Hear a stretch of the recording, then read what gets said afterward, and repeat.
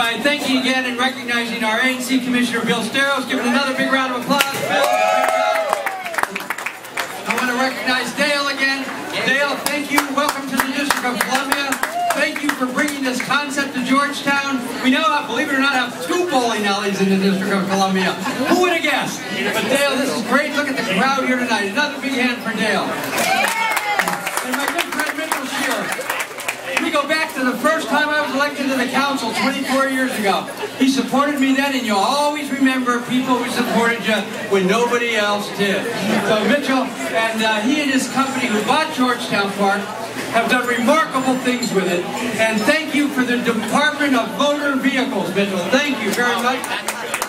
And for Pinstripes. You know, this is another step in the renaissance of Georgetown.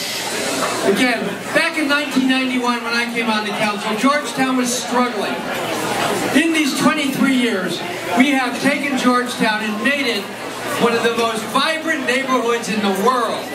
We have renovated, changed, and taken this neighborhood and made it something that is friendly for residents and businesses, a testament to the leadership of this city.